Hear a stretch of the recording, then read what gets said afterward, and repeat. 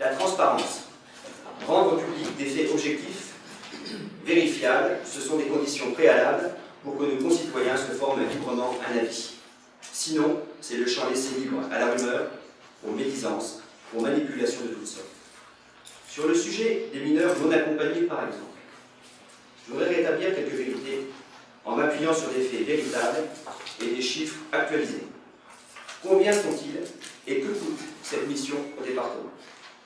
52 minorités reconnues au 1er décembre 2017 sur un total d'environ 1000 jeunes suivis par la protection de l'enfance en Face au Front National, qui désinforme et ne recule devant rien pour susciter la peur, comme en témoigne son site Omarné, le meilleur antidote reste l'énoncé de la simple vérité.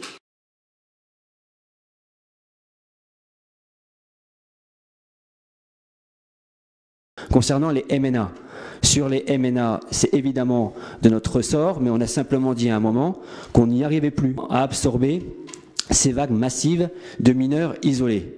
Donc on a un peu haussé le ton, on a demandé aussi que l'État prenne en charge en totalité ce que ça coûte au département. Je rappelle quand même que ça coûte plus de 2 millions au, département de la Haute-Marne, les MNA.